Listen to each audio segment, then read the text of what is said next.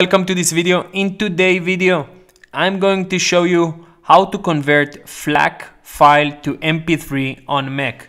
Easy and quick. Just go to that website onlineconvert.com. This is a free online file converter.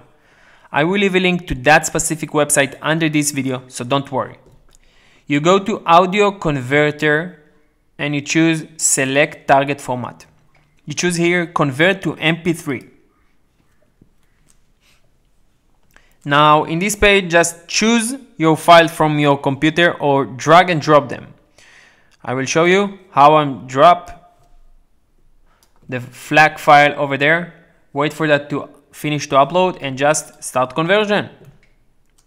After a couple of seconds, your MP3 file will be ready to download. Just name it as you want, save it on your computer, and you're done.